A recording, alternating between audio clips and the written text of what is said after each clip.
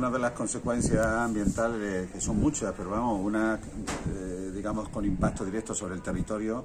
es que una instalación de este tipo, eh, que prácticamente comenzaría en la carretera de la Lantejuela, de Marchena a la Lantejuela, comenzaría prácticamente a las afueras de nuestro pueblo y que llegan hasta el Cordel de Jarda, es decir, 10 kilómetros de, instalación continua a lo largo de, la, de, esa, de esa carretera, es que eh, pasa por el, eh, atraviesa y deja aislado el, el arroyo del Salado,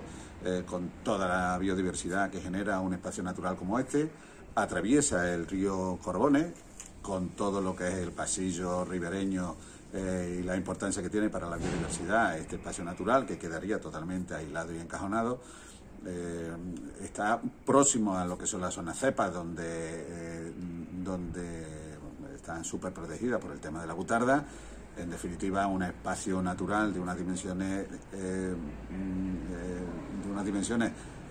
enormes que condicionan, por supuesto, el desarrollo de la vida de todas las especies que forman parte, eh, tanto para las actividades, digamos, de paseo, de observación de, lo que es la alteración del paisaje, como por ejemplo actividades como la caza, ¿no? O sea, en todos estos territorios todo eso se perdería y quedaría, eh, quedaría absolutamente imposible de realizar las consecuencias que tiene para el suelo, la transformación de un suelo agrícola en un suelo industrial, donde se van a instalar y abrir eh, kilómetros y kilómetros, decenas, centenas de kilómetros de cable, de, drenaje, de, postes de hormigón, de una infraestructura industrial, en definitiva, va a tener para el territorio y probablemente para siempre, aunque los proyectos, el alquiler de, los de, los terrenos es por 25 o 30 años, sin embargo, al final, eh, cuando estos proyectos se abandonan, estamos cansados de verlo a lo largo de, nuestros paisajes, mm, eh, cómo eh,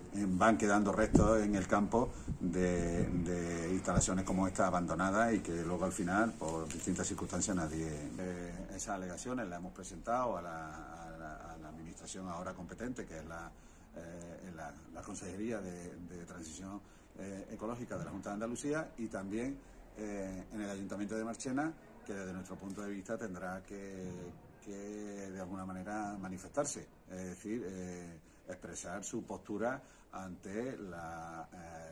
ante la avalancha de, propuestas de instalaciones de este tipo que podamos sufrir en los próximos eh, meses en nuestro término municipal, dadas las características de nuestro territorio, que son ideales para este tipo de, instalaciones, las horas de sol que tenemos, el terreno llano y todo lo demás. Entonces creemos que el ayuntamiento cuanto antes debe de marcar su posición sobre eh, qué modelo de desarrollo de la energía renovable queremos en nuestro pueblo